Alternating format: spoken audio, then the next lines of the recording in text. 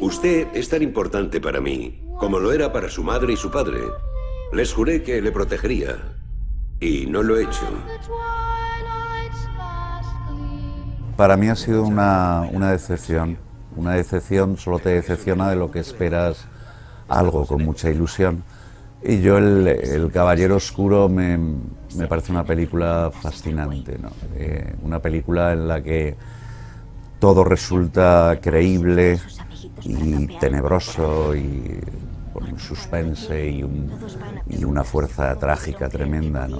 Aquí todo, sin embargo, me parece rutinario. ¿no? Dura tres horas menos diez minutos y yo a la, a la hora ya no sabía dónde meterme. ¿no? Personajes que en, que en la anterior tenían como mucha fuerza y mucha credibilidad, el personaje de Michael Caine, el, el mayordomo el- y al mismo tiempo una especie de padre de Batman o, o Morgan Freeman o, o el persona el policía que interpretaba Gary Oldman aquí me, me da la sensación de que están todos de, de prestado esperando el, el talón y poniendo, poniendo cara de palo no soporto la, la música en, en cada plano de, de Hans Zimmer me resulta que es muy buen músico ¿no? pero me, me resulta como martilleante. No, no tiene el, el menor magnetismo.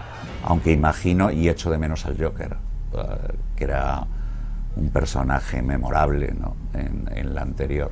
Pero sospecho que los fans de- del Caballero Oscuro, hace poco en la revista Cinemanía, los lectores la daban como la segunda mejor película de toda la historia del cine, lo cual me parece un, un pasote, pero bueno, pues que van a disfrutar también mucho con esta. Yo, repito, me aburrió bastante.